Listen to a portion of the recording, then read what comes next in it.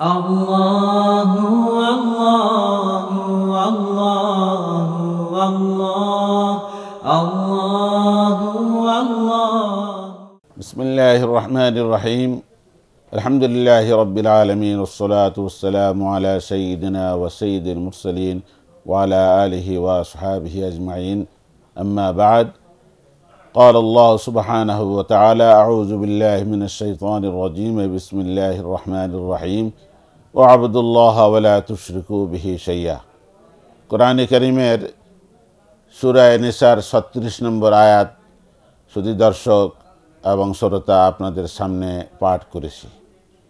আল্লাহ তবারক ওয়াতালা আমাদেরকে নির্দেশ দান করছেন, ওয়াবুদুল্লাহ, তোমরা আল্লাহ পাকের বন্দিগি করো, আল্লাহ পাকের এবাদত করো, আল্লাহ পাকের উপাসনা করো ওলা তুষ্টিকু বিহি সৈয়া এবং এবাদাত করতে গিয়ে কোনো কিছুকে এবং কোনো ব্যক্তিকে, সে অলি হোক, পীর হোক, নবী হোক, কাউকে তোমরা অংশীদার আল্লাহর সাথে সাব্যস্ত করো না। সুরায় মারিয়ামের একশো দশ নম্বর আয়াতে আল্লাহ পাক ইরশাদ করেন তার নবীকে যে আপনি ঘোষণা দান করুন। উল ইন্নামা আনা বাসারুম মিসলুকুম। আমি তোমাদের মতনই একজন মানুষ। কীরকম মানুষ আমি? সুরায় ইনুসের উনপঞ্চাশ নম্বর আয়াতে আল্লাহ বাগ আল্লাহ নবীকে বলছেন, আপনি জগৎবাসীকে বলুন কুল্লা আমলিকুনে নাফসি দর্রাম ওয়ালা নাফাহা আমি তোমাদের মতন মানুষ, আমি আমার নিজের ক্ষতি অপসারণ করার ক্ষমতা আমার নেই। আমার নিজের কল্যাণের এবং মঙ্গলের কোনো বস্তু সংগ্রহ করার, অর্জন করার শক্তি আমার নেই। সুতরাং একজন মানুষের যে অবস্থা আমি নবী হয়েও আমার সেরকমই অবস্থা, ক্ষমতা আর কুদরাত, যেমন তোমাদের নেই, আমারও সেরকম ক্ষমতা কুদরত নেই।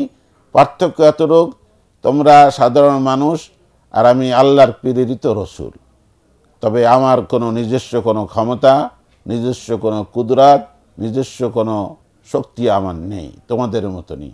এই কথা জগৎবাসীকে আপনি শুনিয়ে দিন। ইন্নামা আনা বাসারু মিসলুকুম।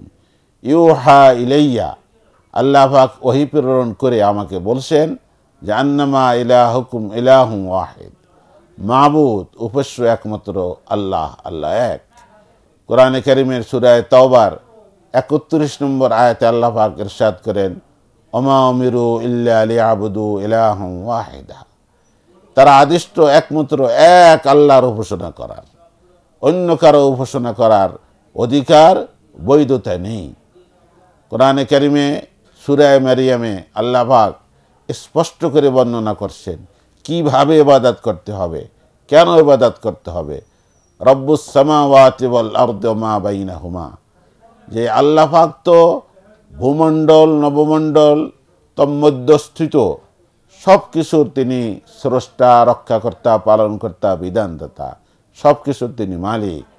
সুতরাং ফাবুদ্ধ যার এইরকম বৈশিষ্ট্য, এইরকম ক্ষমতা, তারই একমাত্র উপাসনা করো।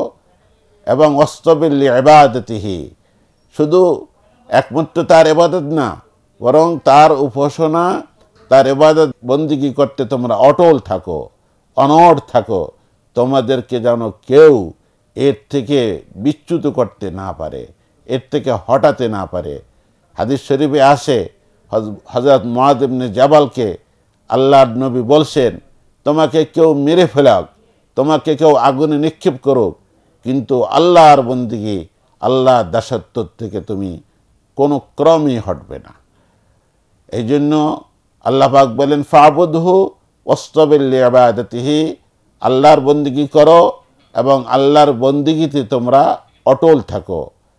এবং আল্লাহ তবারকতালা বলেন যে, তুমি আল্লাহর নামের এই নাম কখনো কি দেখতে পেয়েছ, শুনতে পেয়েছ? তারা পাথরের পূজা করত, মানুষের পূজা করত, সূর্যের পূজা করত, তাদেরকে এলাহ বলছে। কিন্তু আল্লাহ এই নামটা এই নামটা কাফেররা অন্য কাউকে দেয় নাই। এই জন্য বলছেন, কোরআনে কারিমেশ্বরে মারিয়ামে, সামিয়া, আল্লাহর এই নাম কাফেররা পর্যন্ত অন্য উপস্য, তাদের উপস্য, বাতের উপস্যকে দেয় নাই। শুধু দর্শক ও শ্রোতা আমরা ছোট্ট একটি বিরতি নেব। বিরতির পরে আবার আমাদের এই আলোচনায় ফিরে আসব। আপনারা একটু আমাদের সাথে অপেক্ষা করুন।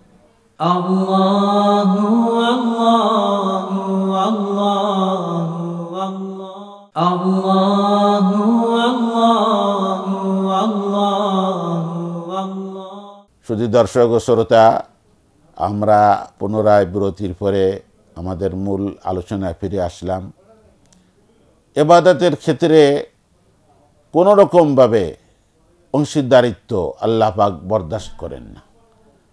এই জন্য সুরা মারিয়ামের শেষে আল্লাহ তবারক ওয়া তাআলা আল্লাহ নবীকে বলছেন, যারা আল্লাহর আজাবের আশঙ্কা করে, আল্লাহর আজাবকে ভয় পায় এবং আল্লাহর রহমতের আশা করে, বাসনা করে, আল্লাহর থেকে পুণ্য নেবার বাসনা করে ফমান কানা ইয়রজু লেকা রব্বিহি, যারা এরকমভাবে আজাবের থেকে বিরত থেকে এবং আল্লাহর রহমতের আশা নিয়ে আল্লাহর কাছে পৌঁছার যাদের উদ্দেশ্য এবং লক্ষ্য, ফমান কান ইয়ারজু লেকা রব্বিহি, তাদেরকে আল্লাহাক বলেন যে ফালিয়া আমাল আমালান সালেহান, যে তাদের আমল করতে হবে, নেক আমল করতে হবে এবং নেক আমল ওই সময় হবে ওলা ইশরিক রেবাদতি রব্বি আহাদা فمن كان يرجو لقاء ربه فليعمل عملا صالحا ولا يشرك بعبادة ربه أحدها أحدا এবং আল্লাহ পাকের এবাদাত এবং উপাসনার ক্ষেত্রে অন্য কোনো বস্তুকে অন্য কোনো ব্যক্তিত্বকে অংশীদারিত্ব সাব্যস্ত করা যাবে না কোরআনে কারিমের সুরায় বাইগিনার পঞ্চম নম্বর আয়াতে আল্লাহ পাক ইরশাদ করেন অমা উমিরু ইল্লা আলিয়া আবুদুল্লাহ মুখলিসিন আলাহদ্দিন তারা আদিষ্ট তারা নির্দিষ্ট যে তারা একনিষ্ঠভাবে একমাত্র আল্লাহকে সন্তুষ্ট করার জন্য তারা এবাদাত বন্দিকে করবে। অমা অমিরু ইল্লা আলিয়া আবুদুল্লাহ একমাত্র আল্লাহর বন্দিকে দাসত্ব করবে, মুখলিসিন আলাহদ্দিন আনুগত্য একমাত্র আল্লাহর জন্য নির্দিষ্ট করে, নির্ধারণ করে আল্লাহ পাকের দাসত্ব এবং বন্দিগি করবেন। আল্লাহ তাবারাক ওয়া তাআলা তার নবীকে, আমাদের নবীজিকে এরশাদ করেন।